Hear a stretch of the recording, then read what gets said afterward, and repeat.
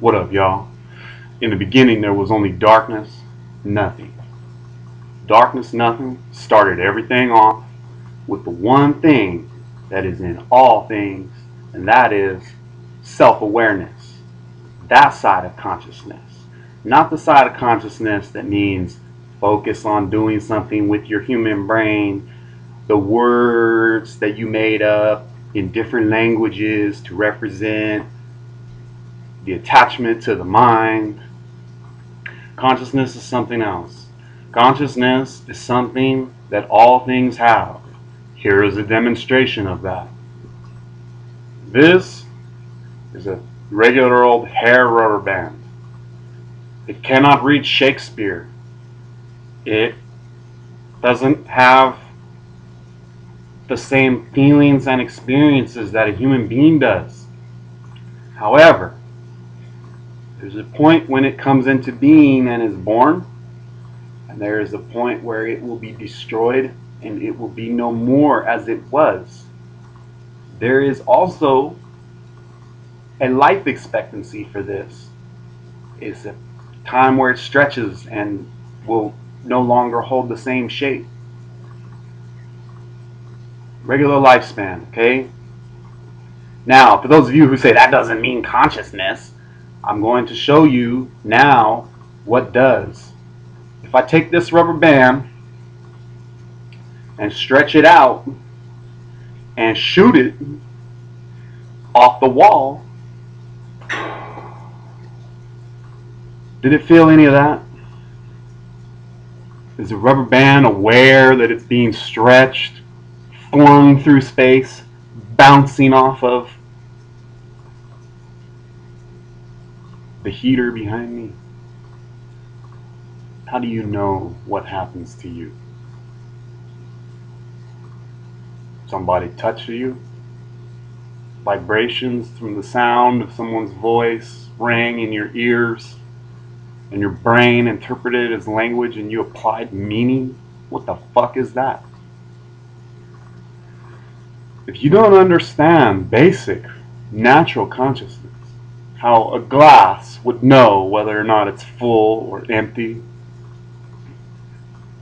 whether a bottle is, you know, capped brand new with its original source, uncapped, drank from the original source, broken over some rocks. You don't think it goes through that? You don't think it has an experience there?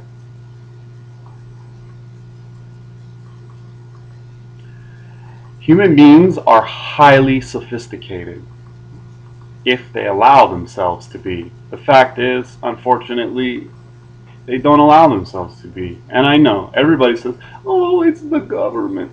Oh, it's the guy in the church. It's the guy in the robe. It's the guy at the front of the room with the cross on his chest. He wouldn't let me be in charge of myself. You let him be in charge of you. You did that to yourself. There are plenty of people on this planet who have resisted that the entire time, and they died for that. My entire experience for the last 2,000 years is buckets of blood, a gallon per precious gallon. For the people who did not want to kneel.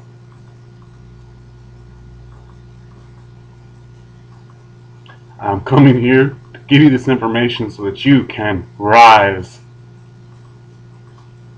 If you guys want to keep serving this fake thing, this fake mammon thing that you have, you want to keep serving this God, fine, go ahead. It doesn't love you, it doesn't care about you, and it's going to run this planet into the ground.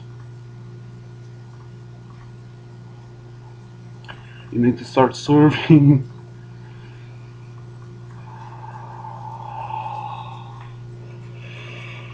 all of you. To serve all of you, you have to serve none of you more than the rest. Now look, each of you has a physical body. In that physical body, you think that your brain and your central nervous system creates a field of energeticness that flows inside of you. Every cell, every muscle, every bone, every inch, the outside, emanating from all of your being, including your fingertips. Even the clothes you wear become attached to this, like electrons to a molecule or something like that. You're all transmitters of a Wi-Fi system that is emotional and it means something. Nobody knows about it really, but lots of people do.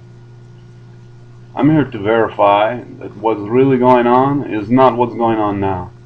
And if you guys want to fix it, you're going to have to get on board with the new deal, the new age, the new world. Heaven on earth, God within you.